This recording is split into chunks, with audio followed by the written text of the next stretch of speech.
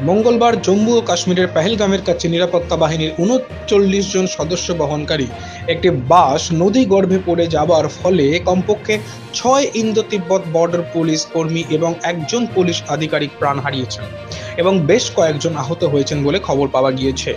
প্রাথমিক অনুসন্ধানের পর জানা গিয়েছে, ব্রেক ফেল করে বাসটি নিচে পড়ে যায়। উনচল্লিশ জন জওয়ানের মধ্যে সাঁত্রিশ জন ইন্দো টিবেটিয়ান বর্ডার পুলিশ ও বাকি দুজন জম্মু ও কাশ্মীর পুলিশের সদস্য বাসের মধ্যে ছিলেন। অমরনাথ যাত্রার ডিউটি সেরে জওয়ানরা চন্দনওয়াড়ি থেকে পহেলগাম যাচ্ছিলেন। উদ্ধার অভিযান শুরু হয়েছে।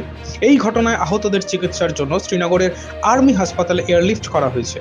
কাশ্মীর জোন পুলিশ একটি টুইট বার্তায় জানিয়েছেন যে, অনন্তনাগ জেলার পাহেলগামের কাছে একটি সড়ক দুর্ঘটনায় ছয় জন আইটিবিপি কর্মী শহীদ হয়েছেন এবং বেশ কয়েকজন আহত হয়েছেন।